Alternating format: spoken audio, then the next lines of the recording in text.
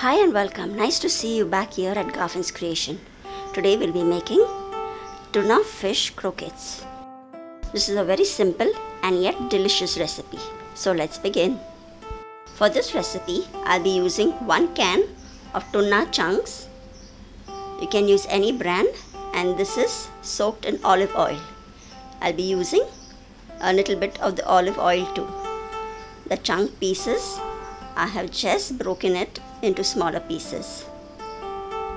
I have just drained the tuna chunks from the box and kept the oil separately. I'll be using this oil in which the tuna chunks have been soaked. I'm taking 1 tablespoon of it. You can also use normal vegetable oil and to it I'll be adding 1 tablespoon of butter.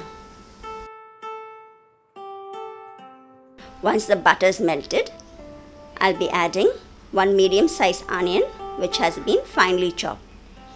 And now I'll be frying this till it's a little bit soft. You'll find the detailed recipe in the description box below.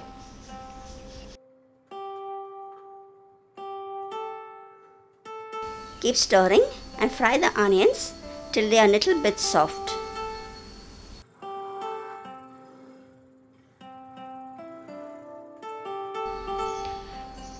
Now add 2 tablespoons of maida or all-purpose flour and mix this well. Keep stirring on medium flame and let the maida or all-purpose flour cook for about 30 to 40 seconds.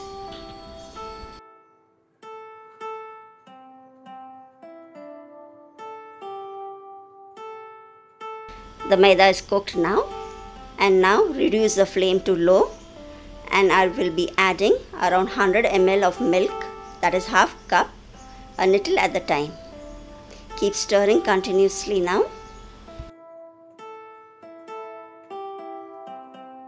Keep adding the milk in batches till the mixture thickens up a bit.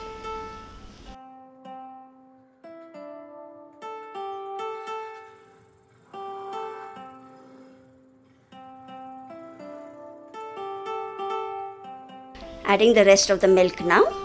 I have added total half cup that is 100 ml of milk. Keep stirring. This looks great. Now I'll be adding half a teaspoon of pepper powder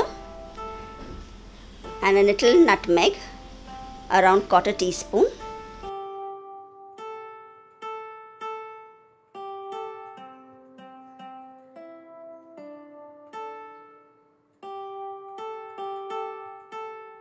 mix all the ingredients well now.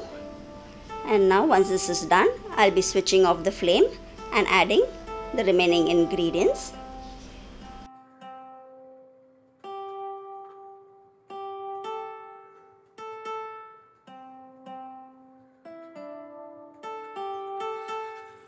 Now add the canned tuna shreds into the pan and give it a good mix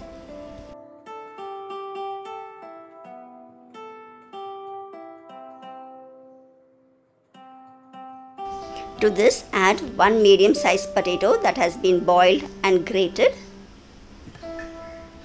Mix this as well.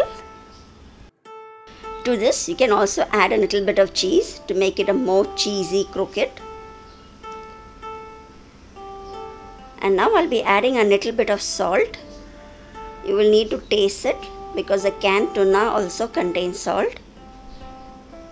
As per taste, add the salt and mix it well once more. Now I'll let the mixture rest and cool a bit till I'm able to handle and make croquettes out of it.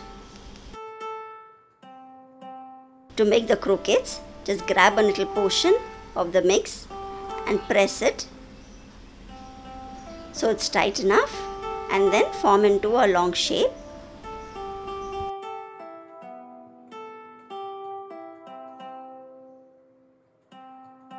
Now I'll continue and making the rest of it in the same shape.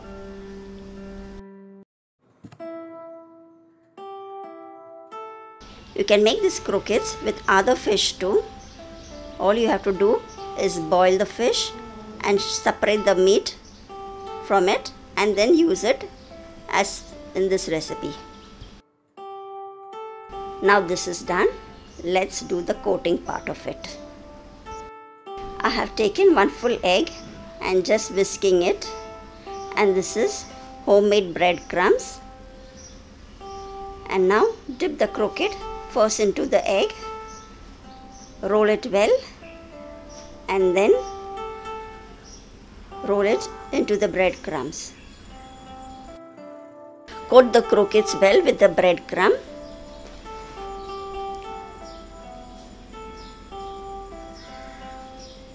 you can also press some breadcrumbs as you roll it so it sticks well.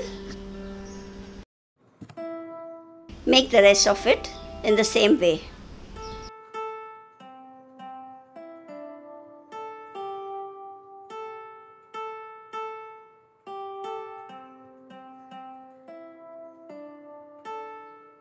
Only make sure the croquettes are well coated with the breadcrumbs so you get a good outer coating.